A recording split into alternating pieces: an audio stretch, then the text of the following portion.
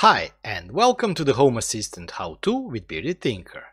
Today we will be playing with the Xiaomi Mijia mosquito repellent. We'll start in a couple of seconds.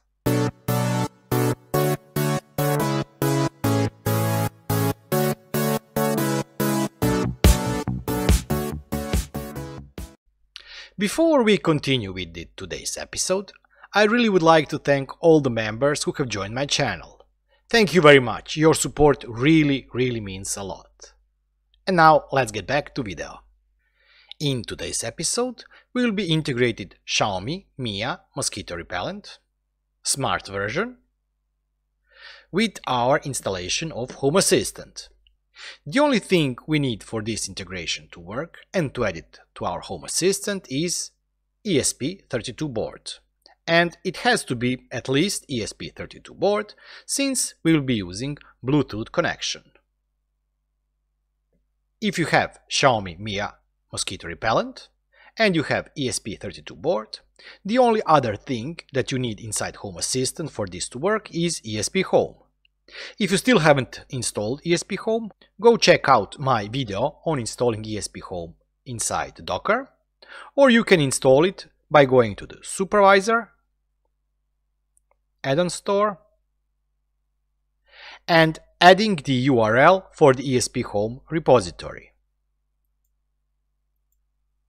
The URL itself you can find and copy it from the description of the video down below. So let's get cracking. For the first step we have to open ESP Home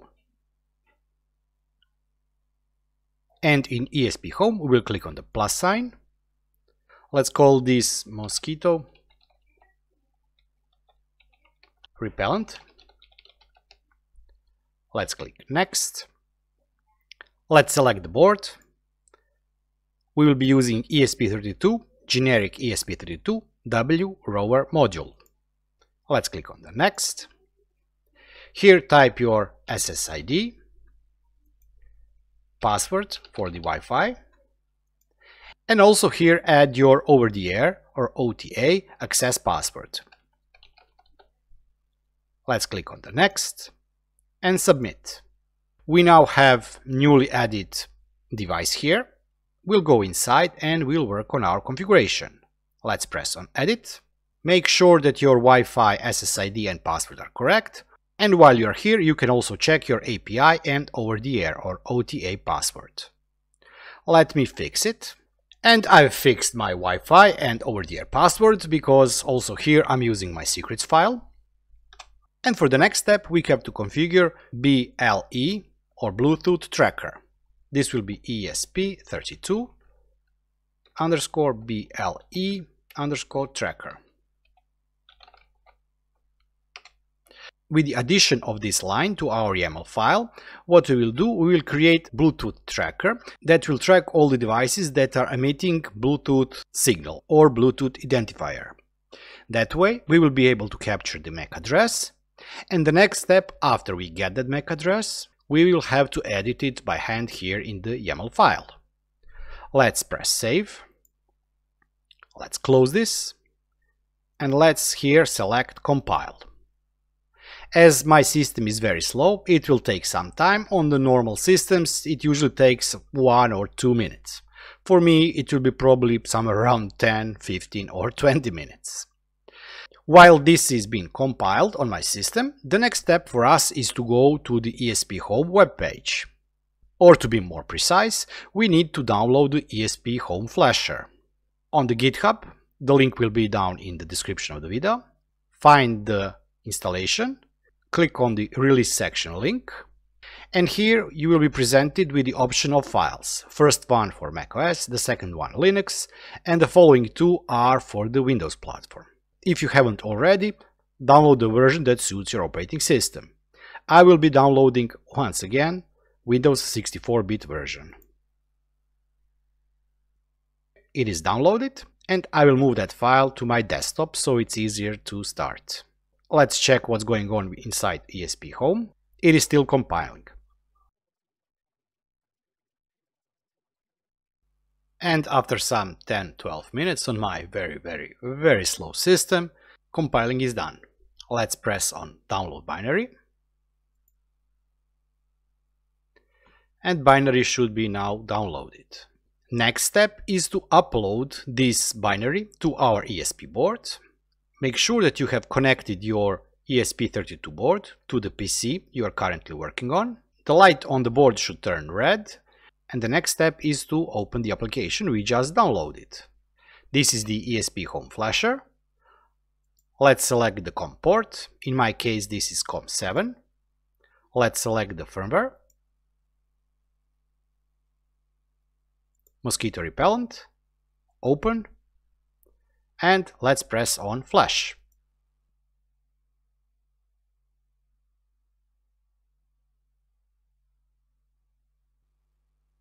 Okay, the flash process is now done. If you see this, this means that there is an error. It's called brownout error. One of the reasons why this could happen is that the voltage supplied through the USB cable is too low and this can happen on the ESP32 boards when you are running both Wi-Fi, Bluetooth, etc. So what you have to do is you have to disconnect the board from the computer or disconnect the cable from the computer and plug this board, for example, to the USB charger of your phone. When you connect the board to the ESP charger, once again the red light should lit up. You can go back to ESP home and try pressing on the logs.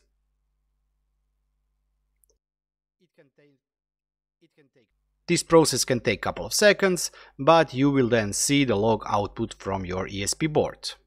As you can see, we have activated also the Bluetooth tracker.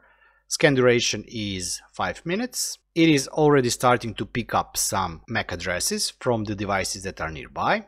And the next step, what you should do is you should make sure first of all that your Xiaomi Mijia mosquito repellent is turned off. Press the power on button and hold it until you see the blue flashing light.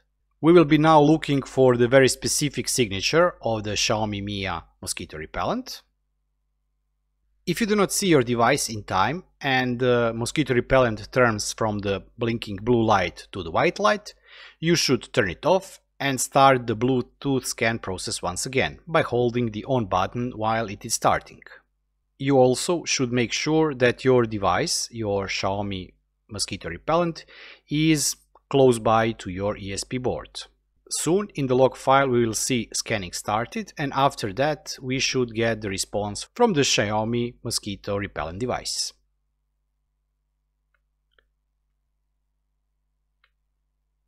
As you can see, we now have found a lot of devices, but the device that we were looking for is this one.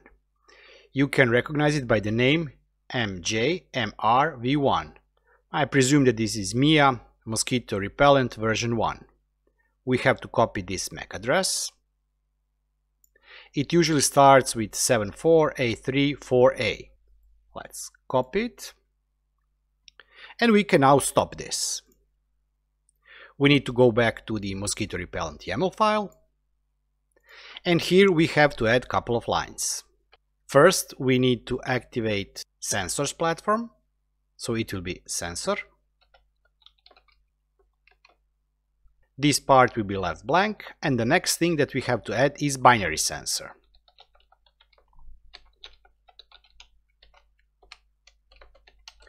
Platform for this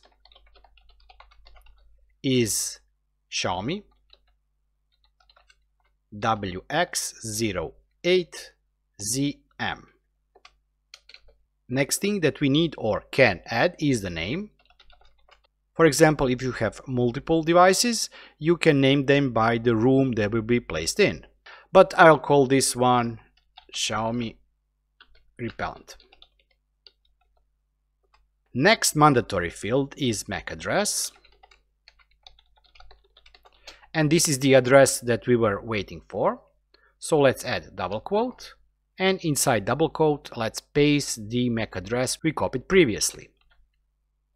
And now we will be adding two binary sensor names. One will be called battery level and this one will be tracking the status of the battery that is used for ventilator inside the repellent and the other one will be called tablet and this one will be tracking the remaining time or remaining percentage of the chemical that is used to repel mosquitoes. Tablet. Name. Smart repellent tablet. And as we said the next one will be battery level.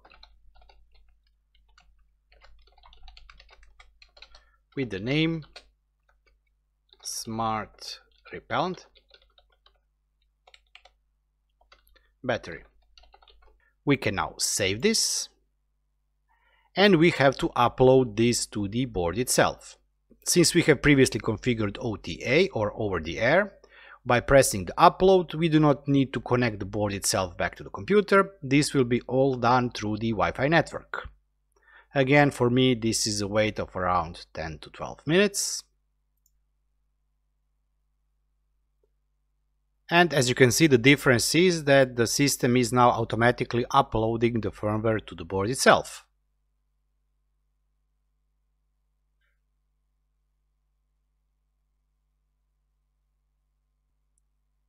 We have to wait for the board to respond. So what is the difference now? Here we can see that we have added mosquito repellent called Xiaomi repellent and it's tracking two things, tablet resources and the battery level you also can see that the repellent is currently on. Let's stop this. And the next step is to add this to our integrations page. There are a couple of ways. One of the ways would be automatically done by the system. Let's check it here. New device is discovered. But unfortunately for me, I don't see it here. So what I'll do is I'll go back to ESP Home logs and copy the name of the device. This is mosquito repellent.local. Me copy this, stop, go back to configuration, integrations, click on the plus sign, type here ESP, paste the host name and click on submit. Here you now have to enter your over-the-air password.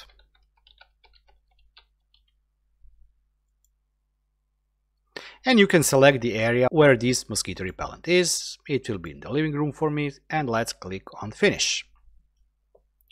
We can see that we have one device with three entities and those entities are Smart Repellent battery status, Smart Repellent tablet and the Xiaomi repellent. Let's add this to our Home Assistant. Let's go to Overview. Let's go to Fun Stuff.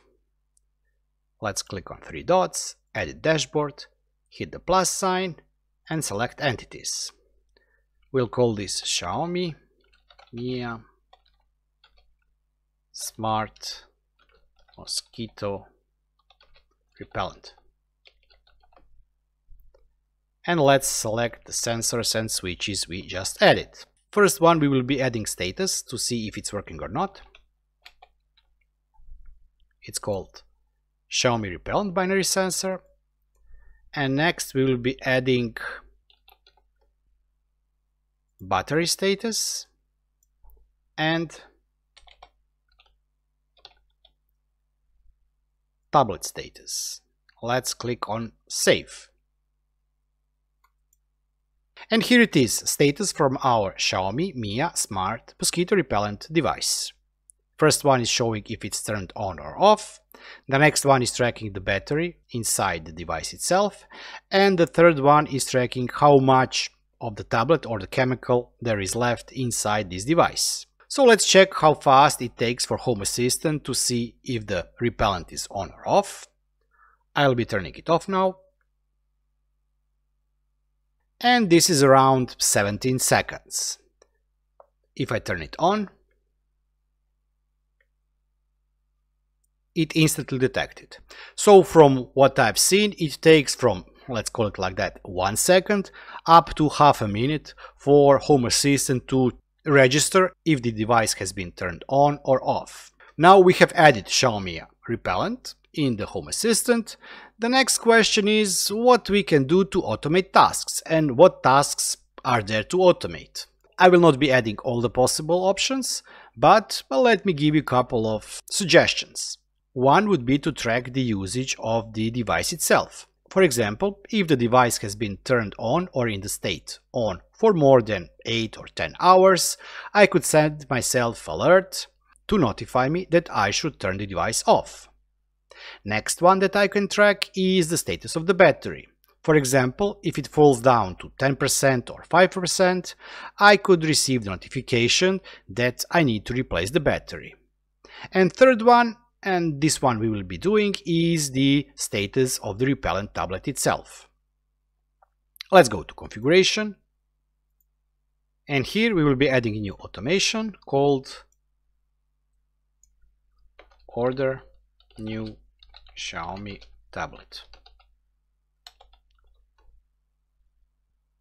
And for trigger we will be adding numeric state tablet below, for example, 35. We will call service, notify our bot and send us message buy new repellent tablet exclamation mark and let's close the quote. Let's press save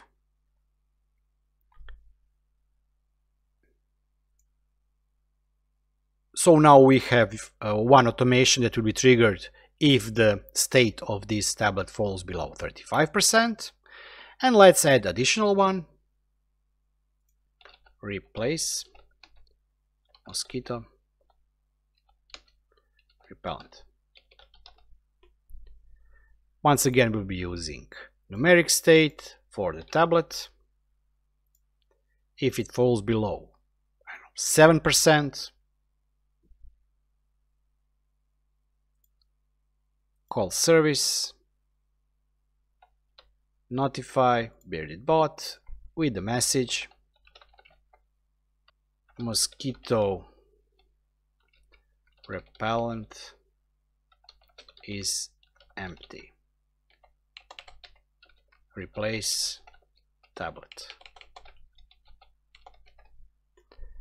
And this is it.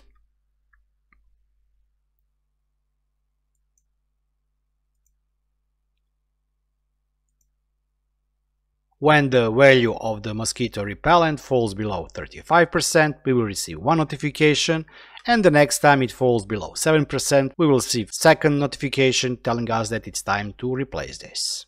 Unfortunately, due to the nature of this device, you will not be able to directly control and turn device on or off, but if you have followed the steps from Xiaomi, then you've probably installed the Xiaomi Mi Home app, configured your Xiaomi mosquito repellent there, and you will be able to control device from there, either manually, turning it on or off, or programming the timer so that the device automatically starts and stops at the specific time of the day.